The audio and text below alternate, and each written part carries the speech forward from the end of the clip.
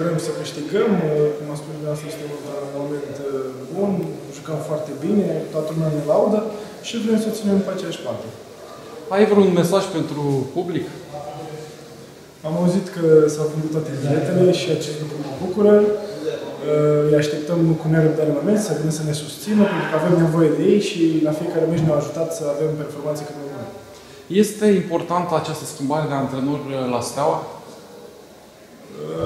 Pentru noi nu știu cât de important și nu prea contează. Sincer, Steaua rămâne aceeași echipă ca și până acum, o echipă bună, de tradiție.